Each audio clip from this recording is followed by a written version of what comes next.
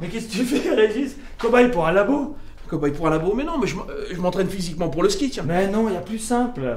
Quoi plus simple? Eh ben, au lieu de prendre l'ascenseur, tu prends l'escalier, tu vas faire un petit footing le week-end, tu prépares ta saison, tranquille. Ouais, mais pour qui me prend? Attends, moi, je monte chez moi par les escaliers, attends. Oui, et quand tu seras dans la station, au sommet des pistes, eh ben, tu feras des, des- des mouvements. Tu échaufferas tes genoux, tes hanches, tes épaules, tes poignets, ton cou. Ah, mais attends, ça je sais faire, regarde. Ouais.